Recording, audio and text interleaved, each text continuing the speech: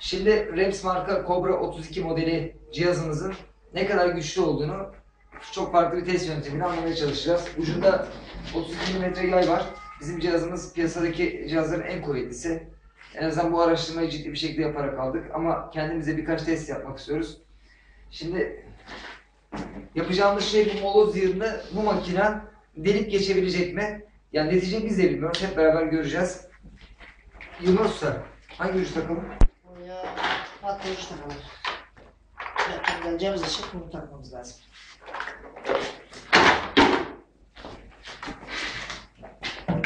Evet, ucumuzu taktık. Başlıyorum. Çalıştırabilirsin. Hadi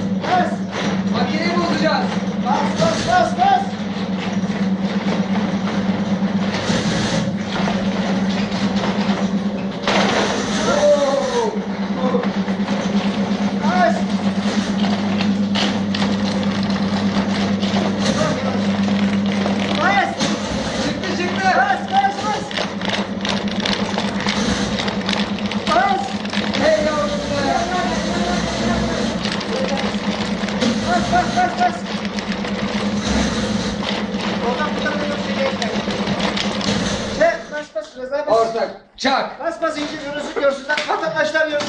Kapat.